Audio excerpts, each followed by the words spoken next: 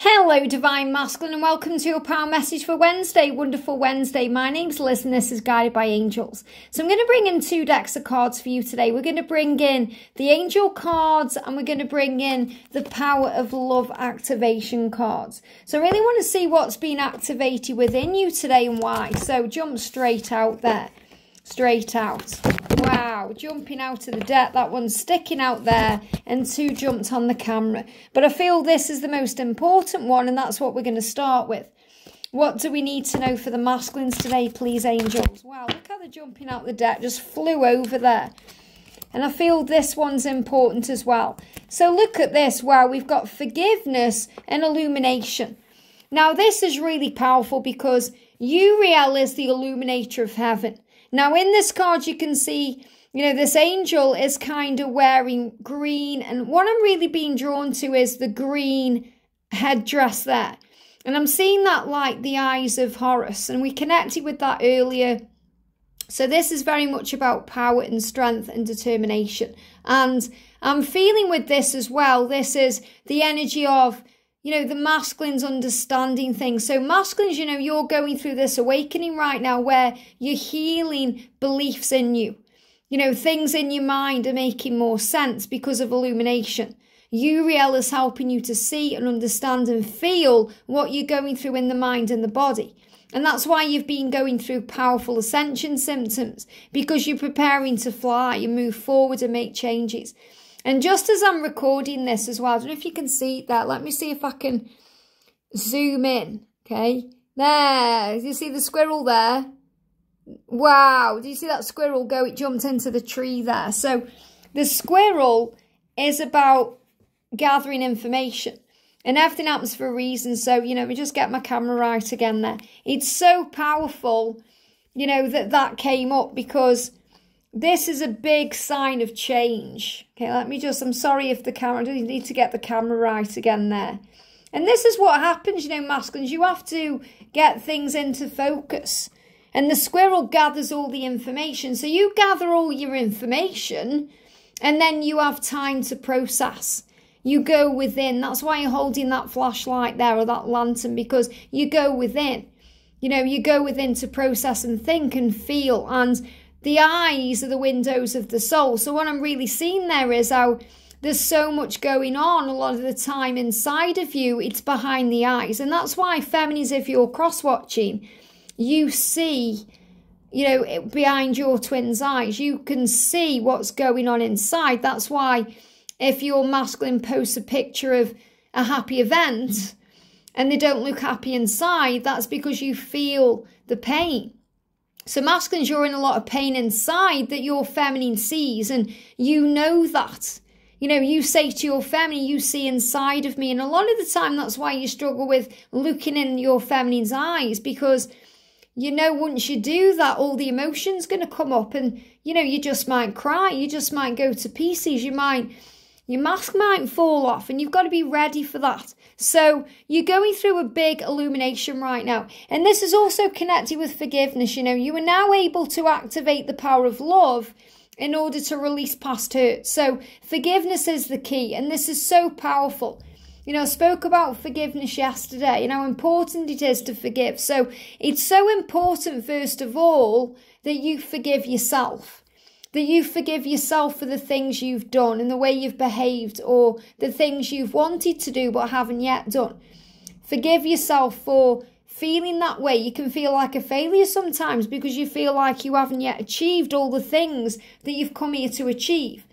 But you're now able to activate the power of love because you're ready to forgive. You're ready to apologize. You're ready to move forward past the past out of the past hurts to begin again, to start again. And you're motivated to do that. Look at that, we've got Eye of God. So you're being shown the way. Again, you've been illuminated. And you're holding the timer there because you're reminding your divine feminine this journey is in divine timing and that you have things you have to do. I'm seeing that there as a broom and as an arrow. So you know, first of all, I'm seeing this as a broom because you are releasing things that need to go. So you're tidying things up. You know, you're brushing away the past, you're healing. So a bit of a cleansing energy there. And also, I'm seeing that as an arrow because you're ready to hit your target. You're ready to move forward. And look at the eyes again. The eyes are really standing out there. One eye's that there's a lot of pain in this one, and this is brighter. You know, feel the masculines as well. You know, you may have bright blue eyes, you could have brown eyes, could be a sign for anyone cross watching there.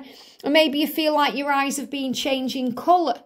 And that's because we do kind of morph into our twin along this journey.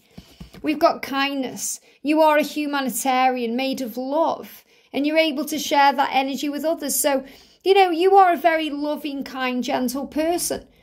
A lot of the time, you hide that behind a mask and you can seem unkind or cruel or cool. And that's not really who you are at all.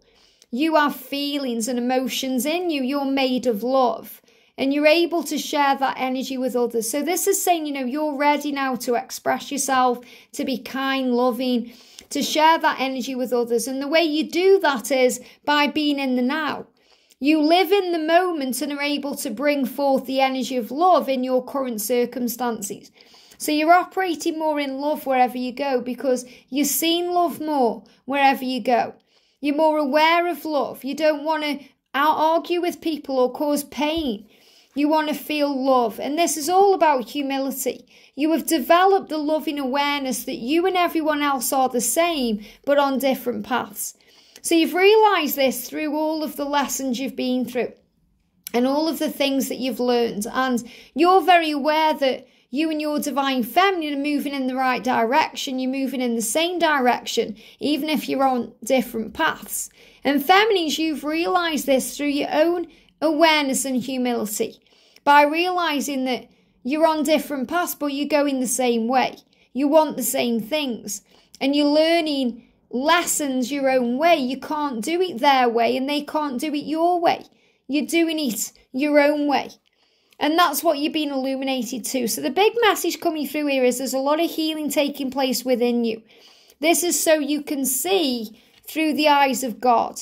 So you can see things in a much higher way to understand why your journey happens the way it does, that time is not running out, and when you operate in the here and now, you understand that. You're able to forgive, you're able to heal, you're able to trust, and that you are a humanitarian. And I'm also seeing that as you sharing your light and love with the world, helping others to see that it's natural and normal to be kind and gentle, to share your heart, and that you are a normal person you know, you may be a spiritual person having a human experience, you know, a spiritual being, but you are a normal person. So I feel you're going to have this real way of showing other people that it's normal to be normal. And that means to do it your way.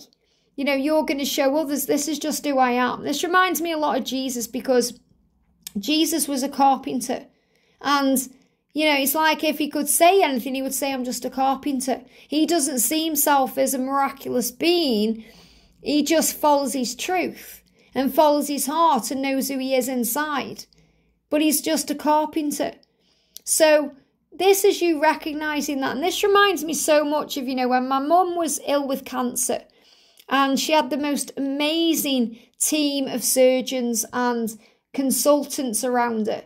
And one of the consultants, you know, we were there and he was talking about her operation and what had gone on. And she said, Thank you so much. She said, You're a miracle worker. And he said, No, I'm just a carpenter. And I had the most amazing experience because I knew in that moment, without him even realizing it, he was channeling Jesus because we see Jesus as a miracle worker, but he's very humble in the way he is. I'm just a carpenter. And this is reminding you that, you know, other people will see you, divine masculine, as this healer and this powerful embodiment of love. And you'll say, no, I'm just a carpenter, I'm just a, a driver, or I'm just a, a lawyer, or I'm just this or that, whatever you do. And remember, you're not defined by your career either, but we tend to do that sometimes. No, I'm just, I'm just this. You know, I'm just connected. I just feel. I'm just able to channel.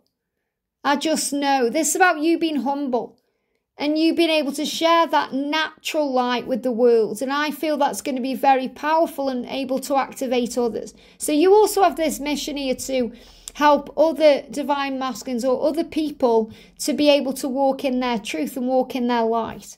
And you're a guide and an inspiration to them, just like your feminine is a guide and an inspiration to you. So remember that you are made of love.